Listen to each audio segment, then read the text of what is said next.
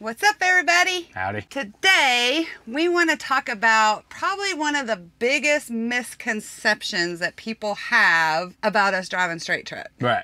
You're thinking we would make more in a tractor trailer. Won't, won't you make more money in a tractor trailer? Right. They see our small truck, and that we get that so many times as y'all would make so much more money if you drove a tractor trailer, or you can't be making any money only hauling one pallet. You can't haul that much freight, so you're not making that much money. Or there's a lot of people who, you know, they're in tractor trailer, they want to make the move to expediting, but they they're worried they're not going to make the money. Right. Just keep in mind this is our situation.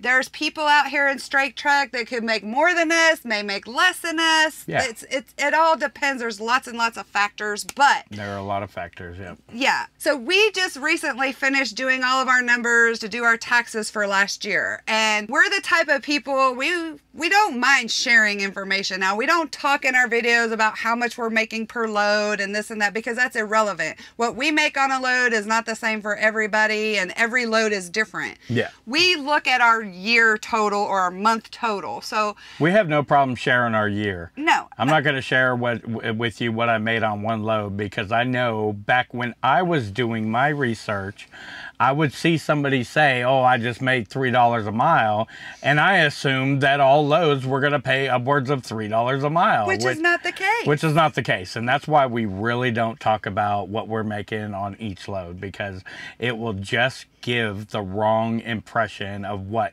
can be made out here right. you know um, so but we'll share the year end and there's a lot of things you have to take into consideration when we do that is you're not going to get out here and make the same amount you may get out here and make more It- Oh, yeah. it- every individual is going to be different you know and it's what you put into it Mm-hmm. it really is Yeah, so after doing our numbers for taxes, what we made last year in 2019, and keep in mind that was in a two axle straight truck hauling the majority of the time one or two pallets, 500, 1,000 pounds, we grossed $285,000 for the year of 2019. And the amount of miles that was for was 145,000 miles. Now that's all miles driven. All we don't break it down by loaded miles. We go by all miles, which Yeah. is deadhead if Whether we're we- going home. Yeah. eh, If we're deadheading miles, to the yeah. truck stop, it, what, every single mile that was driven on our truck costs us money. So we factor that into every everything. So, Mm-hmm. 100, how many miles? 145,000. 145,000 total miles driven last year. Now, there's going to be some people that say, oh my gosh, you could make so much more in a tractor trailer. Yes, in a tractor trailer, there are some people that gross more than that. But you're going to have more expenses. You know, that Exactly. there's like we always say, there's so many more things to factor in. Mm-hmm. If we drive a tractor trailer, we got that many more tires, that uh, got a trailer to maintain. Um, maintenance is going to be higher, more things that can break down, all that stuff. So, respectively speaking, in a straight truck, I mean, we make usually just as much as most people out there. And I think one of the comments we always get a lot, and at least I've seen this, is if you guys drove for Walmart, you could make so much more money. no, no, we can't. Because they like to run around and say, I made $100,000 working for Walmart. But what they're not telling you is how much was deducted in taxes. What did they ended up taking home? Right. Is it good money? Sure, it's good money. But they're running 6,000 miles, five, 6,000 miles a week, uh, running six days a week, you know, uh, just out the wazoo of running. And per mile for the work we do, we make more than Walmart. Trust me. We make more than most tractor trailer drivers Yeah, do. yeah. That that's one thing that people don't understand is we are not paid by the amount of freight we haul. We are paid by the commodity, what the commodity is, if it's special. We do a lot of specialized freight for one thing, which Yeah. pays more. Yeah. It's it does not go by the weight or the size of the load. Now that doesn't mean that you know if we get a load that's ten pallets, it may it may pay more per mile, but it's usually not based on the weight or the amount. It's based on the commodity and Uh, the services and they're services, wanting right, for that right, load, right. exclusive use, constant surveillance, whatever it is. That's what we're paying. Temperature controlled, uh, you know, Mm-hmm. yeah. Customers pay higher for those services. That's what they're paying for in expediting. Yeah. Now that you got your general freight stuff in expediting too, that still pays really decent. Mm-hmm. But that's that's how you make the most money in any job. It's all about what you bring to the table and what you can offer. And if you're skating by with hauling general freight, maybe start looking into what else other freight can you handle? What can you haul? You know, do you have your hazmat? Do you have your, your DOD? Do you have? Are you hauling a reefer? Can you get into a reefer truck? What what more can you do to make more money? And that's how you're going to make more money in expediting any in any trucking. Any any field, yeah, Yeah. any aspect of Yeah, you go drive for Prime. I I think I heard somebody say they're only making like a dollar thirty, a dollar forty a mile. and they'll run your butt off. They will run your That's butt off. running. That's doing six thousand miles a week. Yeah, but you're basically running your equipment into the ground for that rate. Yeah. You know, I mean, Yeah. Be sure if you work your business right and you manage your business and you drive slow and get the best fuel mileage and do your own maintenance and cut corners and costs where you can, you can make a living at that, absolutely. But we make just as much and run less, you know? That's our motto: make more, work less. Yeah. That's what we strive to do. We love being able to, you know, say we do a delivery in Oregon and we want to take a week off. We can do that. Yeah. And yeah. it doesn't hurt us. Even doing that, we made that much money last year. We take a lot of time off. You see us sitting. We just sat six days in California, what, last week, week before? Yeah. That's fine. We still make Money, the, yeah. the, the money. And Sure, we only got one load that week, but it was a good paying load. it was a good paying load. You know, it made our made it. It was an okay week for us, and we're fine with that. You know, we didn't run a whole lot of miles. It's really hard to explain. You know, sometimes some people have their mindset that you got to run, run, run to make the money, and it's really not like that. You know, you you want to go for the better paying loads mm-hmm. and work less. Yeah, exactly. And that- if that's what you want to do is run six days a week, ru- by all means, go run for Walmart. Go, Well, there's expediters out here that run six days a week. They like doing that. And believe me, we could probably make more than what we did if we ran more. But Could- we like, like Jason said, getting one or two lows that pay really good in a week and relax the rest of the week. or even just having bad weeks sometimes. You know, we, we it's Yeah. not going to kill us if we have a bad week. Could we make more at Tractor Trailer doing what we do? Probably so. Maybe. Yeah, Yeah, maybe. yeah. We're, we're going to have more headache, you know. We got to pull a trailer now, have less parking options. I was gonna say the parking. I love that we're able to go stay at an RV park if we want.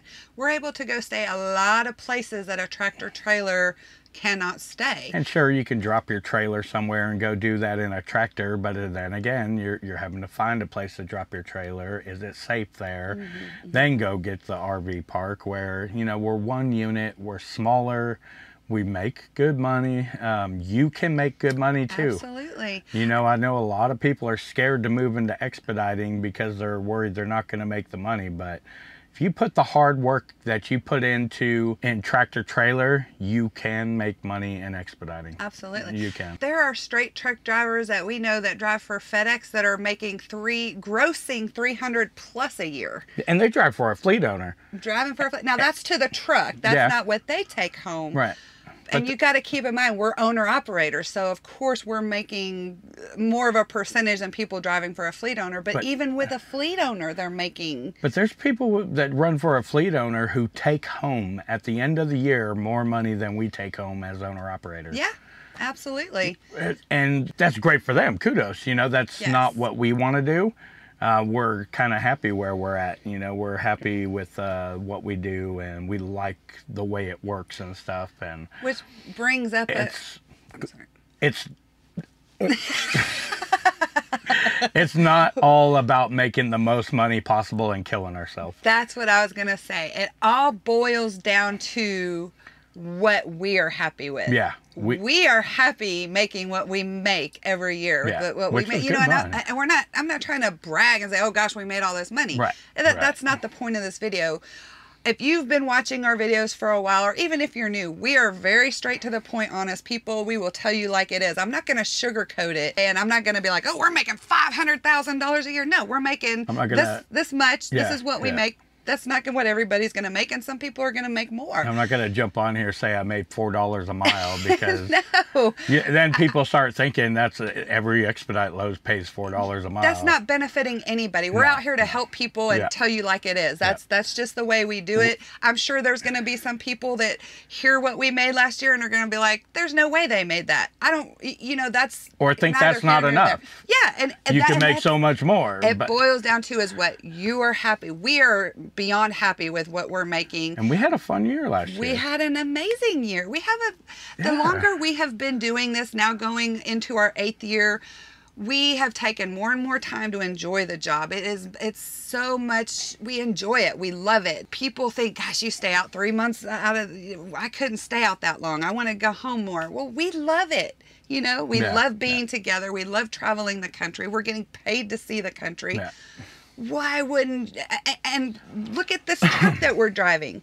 I can guarantee you that if i went to a tractor trailer driving a company tractor trailer driver driving a regular sleeper truck and said would you rather have this or this truck we're driving? What do you think they're going to pick? Right. more people want to have the comfortable sleeper and and the amenities that we have. Now that's not everybody but i mean why would you not want to be comfortable? And and this is that lifestyle we we aimed for when we first started in this, Mm-hmm, you know, is to be comfortable, make good money, not we're not trying to make a million dollars a year, you know, we just want to make enough so we can put money back, we can save, we can live comfortable, we can have nice things and enjoy our enjoy, enjoy, our job. We don't you, oh gosh, you, so many people run, run, run, and sure they make great money, but are they really enjoying what they do? No, right that's yeah nobody's enjoying it as much as we. I bet. i know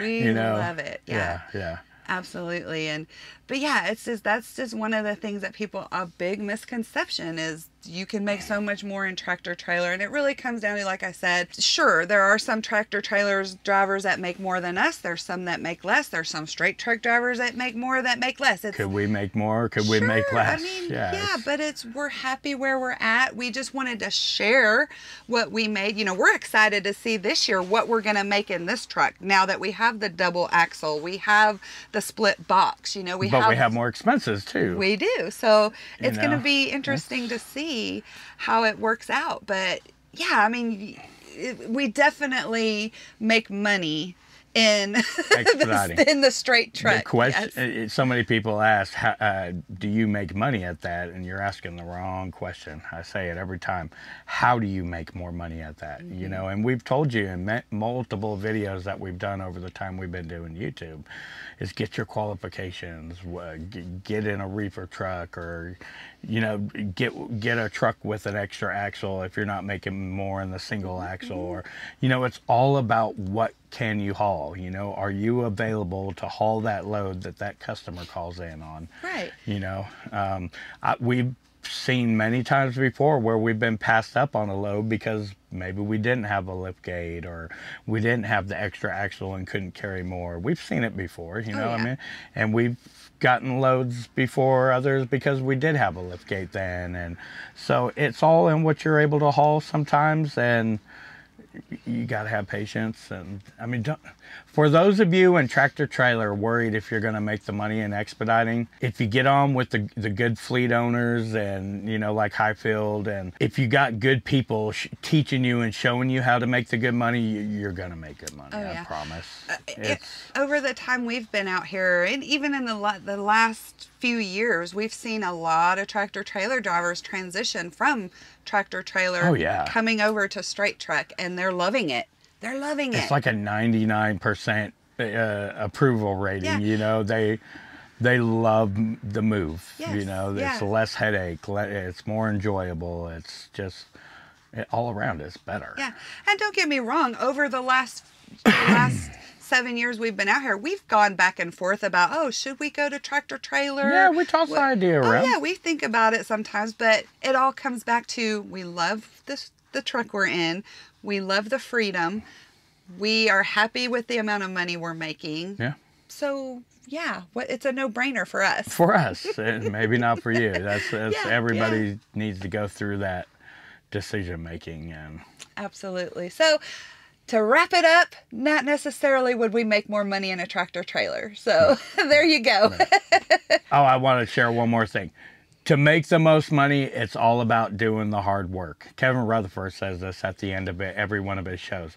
Now, that does not mean work hard. That means do the hard work. Put in your time. You know, it, you're not going to come out into expediting and make killer money right away most of the time. You have to put in the work. You have to research. You have to network. You have to learn. You have to, you know, uh, get your qualifications. You have to, all- all of that stuff. Put in the hard work. You have to track your numbers. You have to see where the money's coming in, how much is coming in, how much is going out, what what's going out. Can you cut costs here? Can you cut costs there? That's what doing the hard work is. Not coming out here and busting your butt. That's just running you ragged. You Yeah. know, that's not doing the hard work. So don't miss mistake the two. You know, I'm pretty sure most people are hard workers. You Oh, know, yeah. but a majority of people are not doing the hard work. And those are usually the ones that are complaining that they're not making money, that it's They're yeah. making it's- bad decisions, making the wrong Yeah. decisions, and um, blaming those bad decisions on others. If you can't see where you could have changed your bad decision making, then you're just digging yourself deeper. All right. You That's your- all I got. You're off your soapbox. I'm off my soapbox. all right. So thank you guys as always for watching and subscribing. and until our next video. Peace, love, and expediting.